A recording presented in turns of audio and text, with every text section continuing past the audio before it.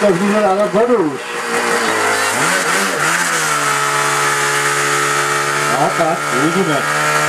Jen začku určitě.